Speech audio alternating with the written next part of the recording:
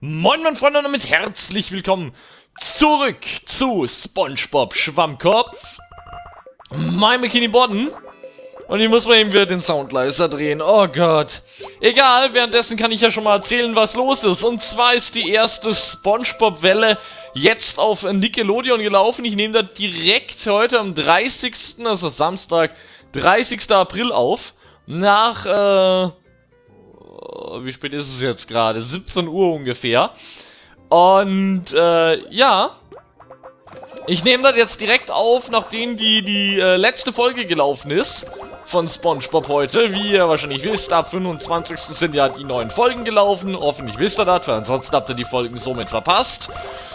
Ähm, und äh, habe ich ja habe ich im letzten Spongebob-Part angekündigt. Und ich möchte nun in diesem Part ein bisschen die Folgen Revue passieren lassen, mit euch so ein bisschen drüber reden, was fandet ihr, was für eine Folge fandet ihr am besten, was für eine Folge fandet ihr am schrecklichsten, was hat euch gefallen, was hat euch nicht gefallen, waren die Folgen gut, waren die Folgen schlecht, ne? Das wollen wir heute alles äh, ein bisschen Revue passieren lassen. Und aus dem Grund äh, sitze ich hier mit euch nun also ich sitze vor meinem PC, ihr guckt euch den Part äh, heute am Sonntag an. Dürfte der online kommen, wenn ich da jetzt nicht allzu viel Schwachsinn erzähle.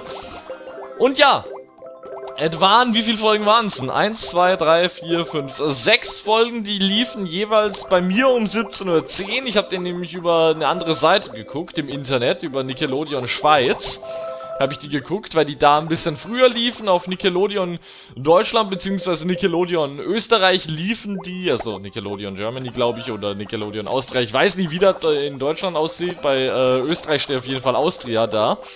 Ähm, liefen die 20 Minuten danach erst, glaube ich. Kann natürlich jetzt auch wieder total Schwachsinn sein, was ich jetzt hier erzähle, aber ich glaube, die liefen dann erst 20 Minuten danach. Ja, ähm, ich habe die auf jeden Fall geguckt. Wie es bei euch äh, aussieht, weiß ich nicht. Aus dem Grund äh, sitzen wir ja jetzt hier. So. Und zwar liefen die wunderschönen Folgen. Ich möchte nebenbei mir ein paar Grundstücke in dem Part kaufen, weil es langsam aber sicher mal wieder Zeit wird für ein paar. Jetzt natürlich die Frage, welche wollte ich mir kaufen? Ich glaube, ich wollte mir die hier oben kaufen, oder? Kann das sein, oder wollte ich die hier unten? Glaube, ich wollte die da oben. Die komplette Hafenstadt wollte ich mir können, ne?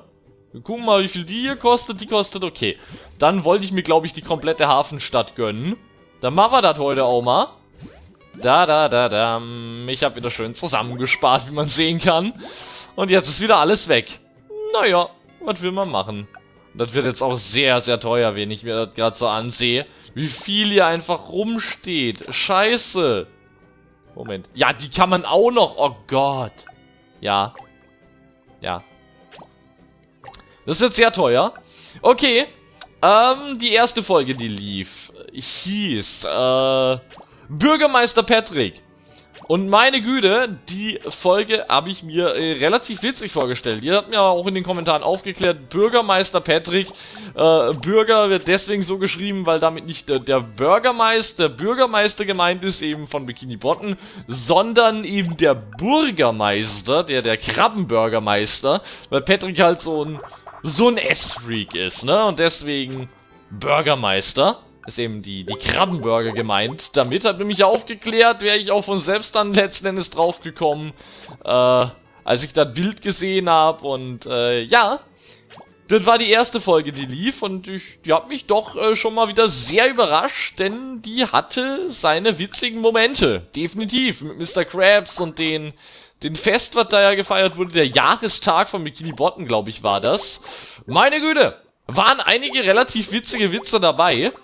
Und äh, ja, letzten Endes, äh, also war das dann so ein S-Wettbewerb, wo Patrick teilnehmen musste. Er war der einzige äh, Typ, der Bikini Botten verteidigt hat bei diesem S-Wettbewerb, weil keiner mehr gegen den äh, Gewinner von den ganzen letzten Jahren antreten wollte. Keine Sorge, ich spoiler jetzt nicht allzu viel, nur ein bisschen was über die Story noch ein bisschen genauer, damit ihr Bescheid wisst, um was es denn da geht äh, in dieser in dieser Folge. Und äh, ja, der gute Patrick halt äh, gegessen. Wie ein Vollidiot. Er wollte eigentlich gar nicht mehr antreten. Äh, weil er auch schon, ja, ne, Mr. Krabs hat ihn gelehrt, wie man schneller ist und diese Taktik fand der gute Patrick halt nicht so toll. Beziehungsweise Patricks Mund fand, ihn, fand diese nicht so toll. Und, äh, ja, Wer letzten Endes gewonnen hat, das äh, müsst ihr euch selbst reinziehen, denn das äh, werde ich nun nicht spoilern, beziehungsweise ich werde auch nicht noch genauer auf die Folge eingehen. Meiner Meinung nach, äh, auf einer Skala von 1 bis 5 war sie definitiv... Doch? wir, wir sehen jetzt mal von den alten Folgen ab, ne, Freunde? Wir sehen mal von den alten Folgen ab und von den neuen Folgen. Von den neuen Folgen. Ab Staffel 4 war die alten Folgen, die waren ja definitiv gut. Ähm, aber von den neuen Folgen war das definitiv eine 5. Also es war wirklich eine echt gute Folge und die hat auch richtig viel Spaß gemacht zu gucken. Meine Meinung, eure Meinung in die Kommentare. So, die nächste Folge, wenn wir reihenfolglich äh, nachgehen, wäre Patrick das Spiel und ich möchte die Reihenfolge jetzt auch liebend gerne lang, äh, beibehalten. Ja, Patrick das Spiel, ne? Ich habe die ja so groß angepriesen, diese Folge. Ich habe gedacht, oh Gott, das wird die epischste Folge in dieser, äh, von den gesamten Folgen, die gezeigt werden. Und, äh, ja. Nehm alles zurück. Ich fand die Folge absolut gar nicht gut. Meine Güte, ich fand die, ich fand die echt schrecklich, die Folge. Zwar waren wieder witzige Sachen dabei, wie zum Beispiel der, der Witz mit Tic-Tac-Toe, was da Patrick, eh, da Patrick eben Tic-Tac-Toe neu erfunden. Und das äh, war relativ witzig. Aber dann, als die sich dann getroffen haben und das Spiel, was Patrick da selbst erfunden hat, was er dann mit dem Titel Patrick das Spiel genannt hat, äh, wo sie dann das gespielt haben, eben Thaddeus und wer war da sonst noch dabei? Sandy und Spongebob, die haben sich dann bei Patrick getroffen, haben eben Patricks neues Spiel ausprobiert. Nee, ab da wurde die Folge schrecklich. Also ab da mochte ich die dann nicht mehr, ab da wurde es eher langweilig und äh, ja, wird die tatsächlich auch...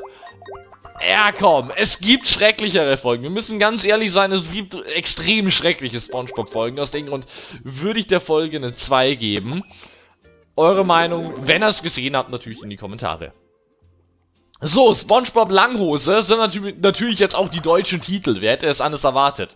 Und nicht so wie bei den alten Folgen, die nach den Kids Choice Awards, nee, die vor den Kids Choice Awards liefen, äh, haben diese Folgen tatsächlich auch schon die deutschen Folgen, äh, Schilder bekommen. Also, ne, am Anfang, was ja immer eingeblendet wird, wie die Folge heißt, die jetzt gezeigt wird. Da haben noch immer ein paar Folgen aus der neunten Staffel kein, äh, keine, keine Schilder, wo eben der deutsche Titel draufsteht, was ich, mich immer noch so, so ein kleines bisschen schockiert, wo ich dann halt auch sagen musste, wie lange dauert denn das, so ein nerviges, dummes Schild zu erstellen, was da am Anfang 5 Sekunden eingeblendet wird, wo der Titel draufsteht. Die müssen doch nur den Titel umändern, das kann doch nicht so schwer sein.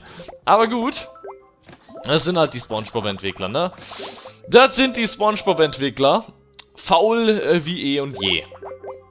Na dann, was haben wir als nächstes? Ja, Spongebob Langhose. Wir hatten Spongebob schon mit einer quadratischen Hose, haben wir die ganze Zeit schon. Wir haben Spongebob mit einer runden Hose gehabt, wir haben Spongebob ohne Hose gehabt.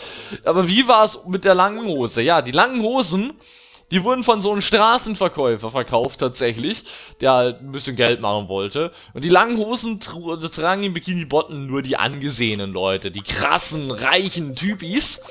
Und äh, ja, aus dem Grund hat dann Spongebob auch zu diesen dazugezählt. Denn man kann nicht sagen, krass reicher Typ ist. Mit der kurzen Hose sah halt aus wie ein Kind. Und äh, die einzigen Leute, die diese Hosen eben trugen, das waren die, äh, die erwachsenen Leute, die trugen lange Hosen.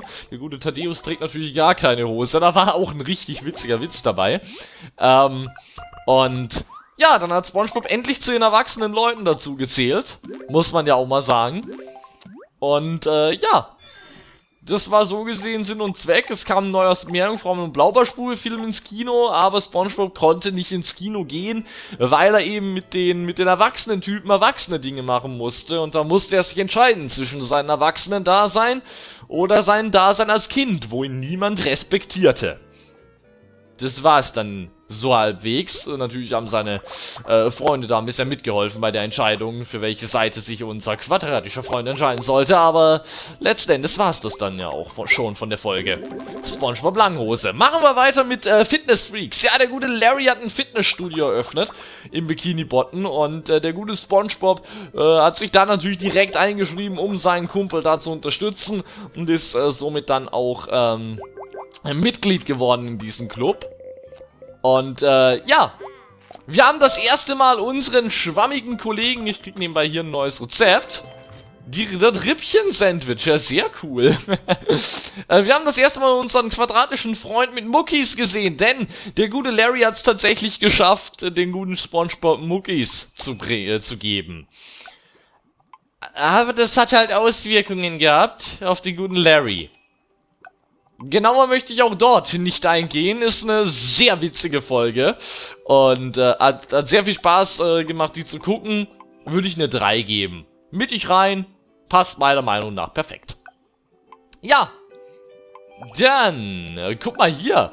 Es gibt Larrys Fitnessstudio in dem Spiel sogar schon. Habe ich gerade gesehen. Wo ist es denn? Hier, Larrys Gym. Das hat er sogar erst, ne, das hat er in der Folge erst eröffnet, dieses Gym. Und das ist hier schon drin und das schon seit Anfang an, seit Erfindung dieses Spiels. Äh, ich glaube, die Entwickler der Folge haben da ein bisschen von dem Spiel abgeguckt, ne? Würde ich sagen. Weil es war ja zuerst das Spiel da und dann die Folge. Interessant. ja, so viel dann dazu. Habe ich, glaube ich, jetzt äh, gut drüber gesprochen. Ich werde natürlich auch nicht zu viel erzählen, ne? Schließlich sollte euch die Folgen dann auch selbst noch reinziehen und sie sollen natürlich auch für euch noch etwas Neues sein. Wäre ja schade, wenn nicht. Und aus dem Grund, ne? Lassen wir es hier sein mit der Folge und machen direkt weiter mit das Experiment. Meiner Meinung nach die beste Folge, die gezeigt wurde von den ganzen sechs ja, sechs Folgen, die gezeigt wurden, ist das meiner Meinung nach wirklich die allerbeste Folge. Bei das Experiment äh, äh, möchte Sandy die Unterwassergegend äh, erforschen, wie sich diese in bestimmten Lebenssituationen so verhalten. Und ähm, hat dann natürlich äh, ein bisschen die Leute ausspioniert.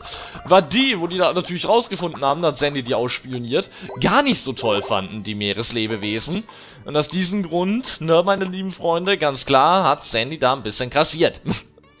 Wer hätte es anders erwartet? Das fanden die natürlich nicht so toll. Wie würdet ihr das denn finden, wenn euch ein Eichhörnchen ausspionieren würde? Ja, und so ging es halt auch den Leuten. Und aus dem Grund hat sich Sandy im Testexemplare gesucht, die, äh, die nicht so reagieren, wenn Sandy sie ausspioniert, die das Ausspionieren zulassen und ist dann ebenso auf Spongebob und Patrick gekommen. Aber diese waren natürlich dann davon nicht sehr begeistert, dass Sandy die ausspioniert und beziehungsweise haben dann halt, ne, ich, ich verhalte mich ja auch ein bisschen anders, wenn ich hier aufnehme, als äh, wenn ihr mich in Real Life treffen würdet und äh, aus dem Grund haben die sich dann natürlich auch ein bisschen anders verhalten, als, äh, als sie normalerweise sich verhalten haben, als dann die Kamera lief. Und ja, da musste Sandy das geheim machen, musste Sandy die äh, zwei Leute, die SpongeBob und Patrick eben geheim irgendwie filmen, was natürlich gar nicht mal so einfach war. Und hat dann eben äh, die losgeschickt und ähm, damit die halt nicht da waren, damit die, damit Sandy heimlich Kameras verstecken konnte in SpongeBobs Zuhause. Und dann hat die noch extra dann, als die zurückkamen, hat die dann gesagt, äh, Patrick, du bist ab jetzt der Boss, um ihnen das Experiment ein bisschen interessanter zu gestalten. Und äh, wie sich Patrick dann natürlich SpongeBob gegenüber verhalten hat, war definitiv sehr interessant. Ich weiß nicht, wer von euch den Film Das Experiment kennt. Ähm, wir haben uns den auf jeden Fall in der Schule angesehen und der artet dann gegen Ende auch total aus. Da werden einfach, äh, das sind zwölf Typis, glaube ich, und äh, die bekommen eine Rolle zugeteilt in den Filmen. Dass äh, jeweils einer die Rolle, dass äh, jeweils sechs die Rolle von äh, Polizisten übernehmen und äh, sechs Leute eben die Rolle von Gefangenen übernehmen und das wird halt richtig realistisch auch dargestellt, dass die dann eben Gefangene sind und so weiter in einem äh, Gefängnis. Und äh, das ist auch total ausgeartet und mich hat die Folge einfach total an diesen Film erinnert. Wenn ihr den Film kennt oder ihn euch wegen, wegen mir jetzt reinzieht, würde mich das äh, sehr interessieren, äh, wie ihr denn zu dieser Meinung steht. Ob ihr auch findet, dass äh, der Film direkt auf die Folge angespielt hat oder nicht. Möchte natürlich aber auch vorwarnen, meine lieben Freunde. Das ist natürlich ein Kinderprojekt hier. SpongeBob Schwammkopf. Da gucken natürlich auch sehr viele junge Leute zu. Und der Film Das Experiment ist leider freigegeben ab, ich glaube, 16. Und aus dem Grund, ne? ich möchte euch davor warnen, dass das äh, nicht wirklich kinderfreundlich ist, die Folge. Der Film. Ne? Ich hoffe, ich habe da jetzt... Also, äh, wenn ihr durch den Film verstört werdet, und es gibt definitiv verstörende Szenen, nicht verstörende Szenen, aber halt brutale Szenen in den, in den Filmen, dann äh, schiebt es bitte nicht auf mich, ich habe euch vorgewarnt und, äh, ja, müsst ihr euch ja nicht reinziehen, wenn ihr nicht, äh, nicht wollt. Ich habe mir damals auch nicht allzu viele brutale Filme reingezogen. Erst, das kommt, das kam erst mit, das, äh, das kam erst vor, vor, vor kurzem, dass ich dann gesagt habe, ja, Filme ab 16 packe ich dann jetzt auch langsam. So, ähm, genug von meiner Seite aus. Wir machen weiter mit SpongeBob und den neuen Folgen natürlich. Und äh, dort gab es nur noch eine neue Folge und auf die habe ich mich übelst gefreut, denn äh, diese trägt den äh, wunderschönen Namen, die Geldheirat. Da möchte Mr. Krabs natürlich Geld heiraten. Das große Problem dabei ist natürlich, dass man Geld nicht heiraten kann.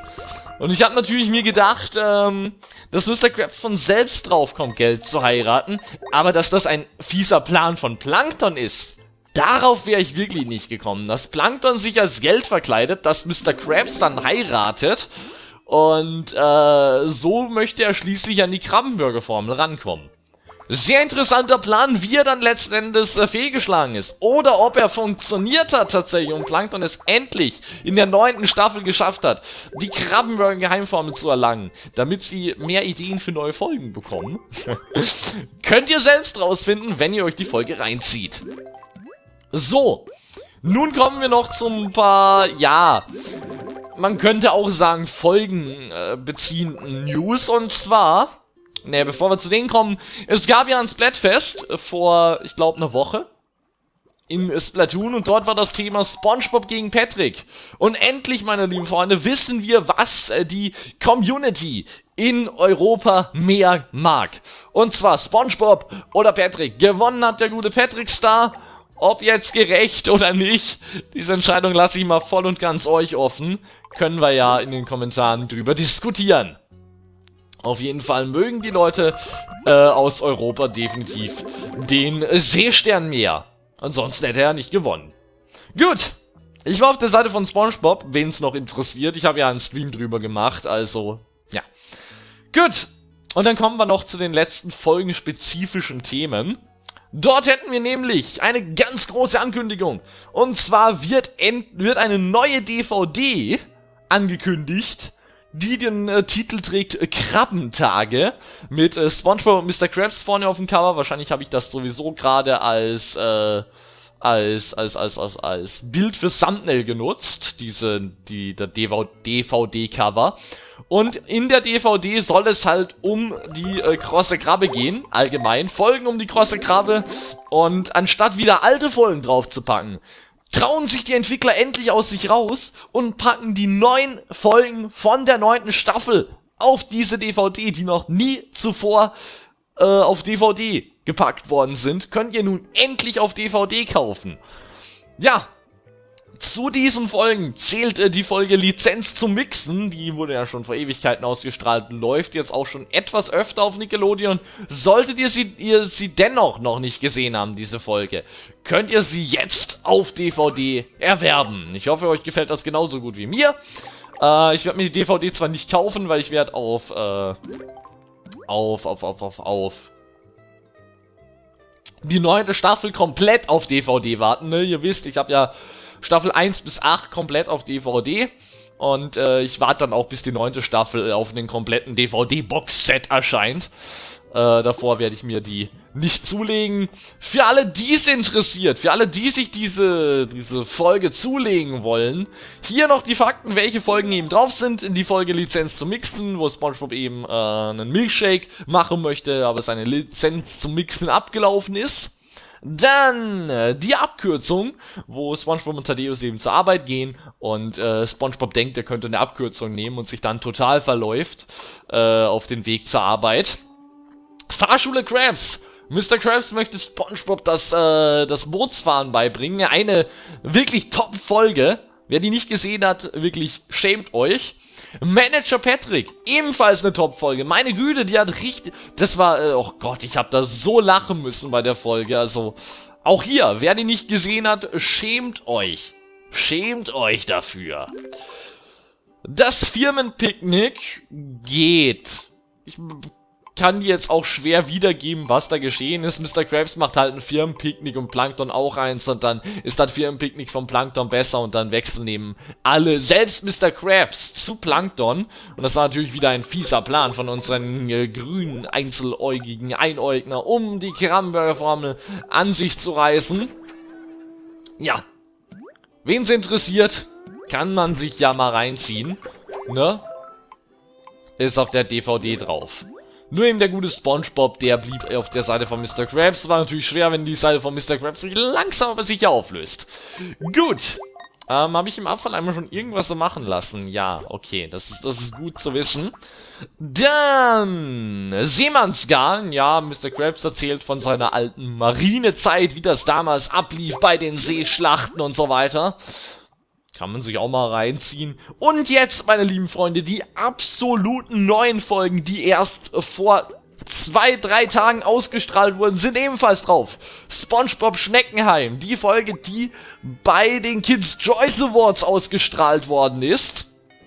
Ähm, ja, SpongeBob nimmt eben äh, Schnecken auf, die äh, ja am Straßenrand im Streunerschnecken, könnte man sagen. Nimmt er bei sich zu Hause auf und davon halt relativ viele, was halt für Probleme sorgt, wenn relativ viele Schnecken bei einem zu Hause sind. Ne? Man kann sich nicht um alle kümmern und äh, ja, darüber habe ich schon gesprochen im äh, Part, der diesen zuvor ging. Ich weiß gerade nicht, wie viel der Part das ist von dem Projekt aus dem Grund. Einfach mal den Part äh, zuvor googeln, vielleicht 37 oder so oder 36, wenn das jetzt gerade 38 ist.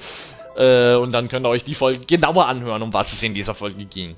Und dann Bürgermeister Patrick ist auch noch drauf. Die habe ich ja jetzt hier am Anfang dieses Partes angesprochen. Äh, ja, ist auch direkt auf der DVD drauf. Wenn ihr diese Folge also verpasst habt und sie gerne euch nochmal reinziehen wollt oder beziehungsweise euch überhaupt mal reinziehen wollt, dann ist diese DVD wie für euch geschaffen. Das wären die Folgen, die da drauf sind. Geht eben rund um die krosse Krabbe. Alles, was rund um die krosse Krabbe sich abspielt. Und äh, wahrscheinlich werden wir auf dieser DVD, da es eine Special-DVD ist und nicht so wie die äh, DVD zu den ersten bis zur achten Staffel, eben die kompletten Staffeln, da haben die nämlich die englischen Schilder draufgepackt. Und äh, bei diesen DVDs, die eben nur im deutschen Raum erscheinen, äh, werden wir dann wahrscheinlich auch endlich die deutschen Episodenschilder zu diesen Folgen zu sehen bekommen. Gut, dann habe ich die, äh, die neuen News jetzt hoffentlich relativ gut abgearbeitet. Ähm, und ähm, möchte nun vorne hinweg sagen, äh, das, ja, das können wir auch noch kurz reinhauen. In den USA werden bereits die nächsten Folgen ausgestrahlt, von denen wir auch schon Bescheid wissen, was in diesen Folgen geschehen wird. Das äh, werde ich dann im nächsten Part ansprechen, meine lieben Freunde. Also, keep calm und äh, wartet den nächsten Part ab.